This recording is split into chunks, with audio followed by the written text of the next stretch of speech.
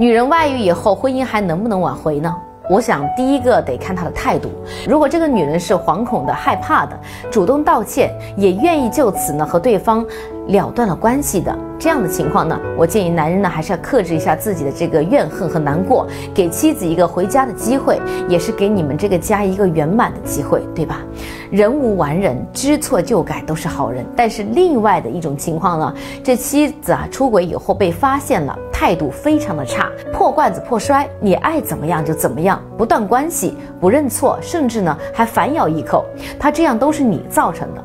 那么我就劝你不要再挽留了，因为像这样的女人，就算是现在你不离婚，日后她也不可能收心回来过日子的。继续挽留，只怕剩下的都是你的屈辱和折磨。不管是男是女啊，我想对于婚姻，我还是有些忠告的。这个婚姻呢？都是咱们自己选的。如果你觉得选错了，随时都有终止的权利。这离婚呢，他也不犯法呀。